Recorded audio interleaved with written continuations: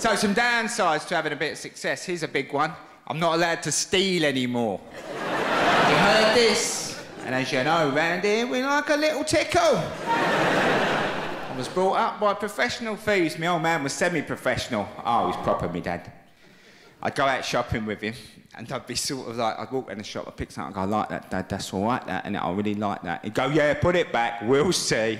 Put it back, we'll see. I walk out of the shop, he'd go, there you go, son. That's for you, that's that thing you wanted. Eh? Thanks, Dad. Gerbil. Yeah, because I've been sort of stealing at a low level most of my adult life. I like stealing sandwiches.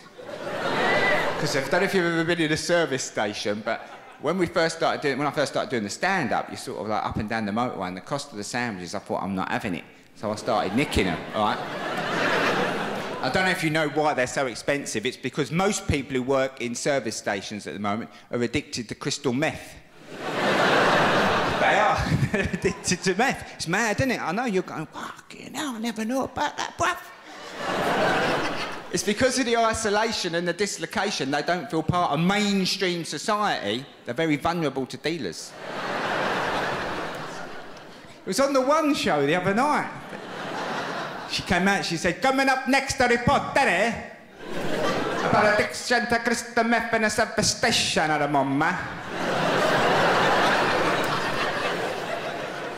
I know, it's uncanny, isn't it? You're thinking, how does he do it? How did you just lock into accents like that? Bosh, he's straight in.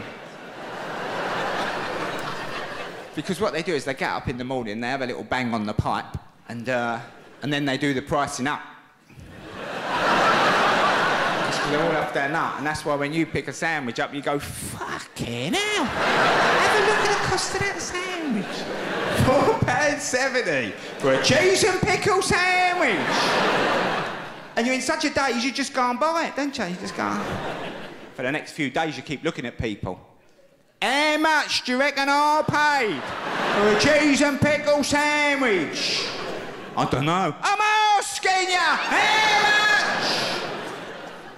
Three fifty, four pounds seventy. Bang liberty, bang liberty. So I've been stealing them for about 15 years, right? I love it. I love it because I had all my own little techniques. I used to have a little hat on my head, right? I just, and I'd, I'd walk past the sandwiches, right? I'd have a little look in, and the hat would fall off. And I'd go, oh, my hat! And as I picked that up, I would just push it down over a sandwich, lift it out, bosh, out the building. you ain't got to take these ideas on, just introducing you to them, that's all.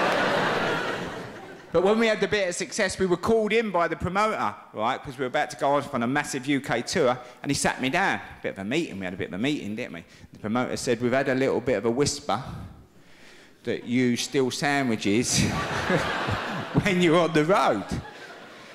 I had to front it out, didn't I? I said, "Yeah, I do. What's your problem?" got a bit tasty, bruv. Got a bit tasty, right? The promoter said, I'll tell you our problem. We can't have a couple of thousand people waiting to see you. You're nicked into a sandwich.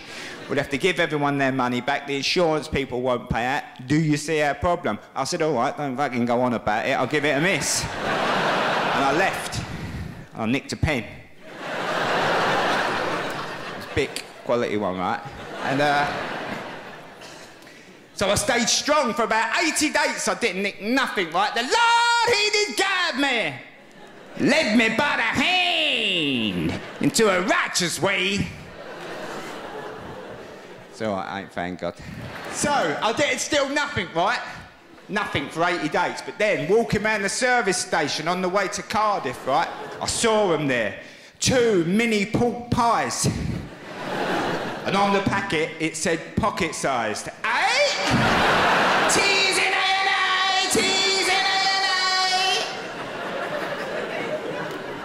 Because there's another thing that'll happen. Every now and then I'll just become Afro-Caribbean, innit, right?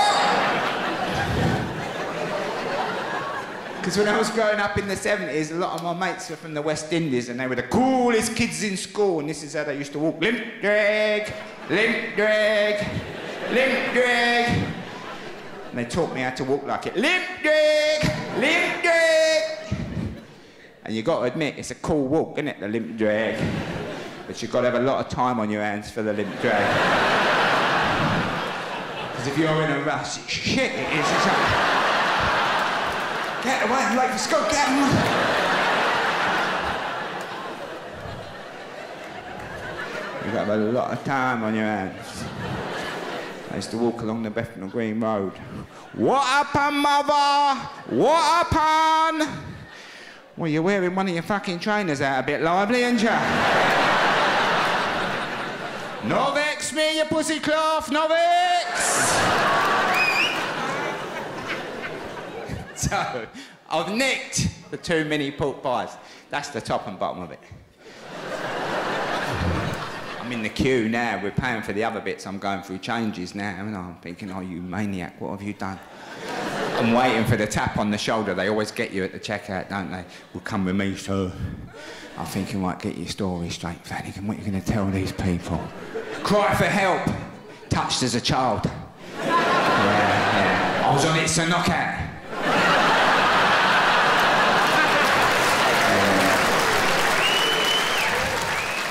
But the tap don't come. Bosh, we got away with it. We got out the building, me and Barry, the tour manager, we got out the building, right, we got a flash motor that we take on tour. We got in the flash motor. I turned to Barry, I went, bow, bow, have a look. I've had too many pork pies away. One each, bow. Halvesy, halvesy, innit? Halvesy, halvesy. Eh? I ain't greedy, bow.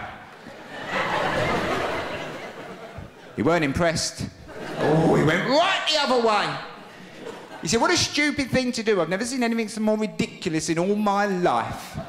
He said, Life could not be working out better for you at the moment. The tour is selling out, the DVD's coming out soon. You're putting it all at risk for two mini pork pies.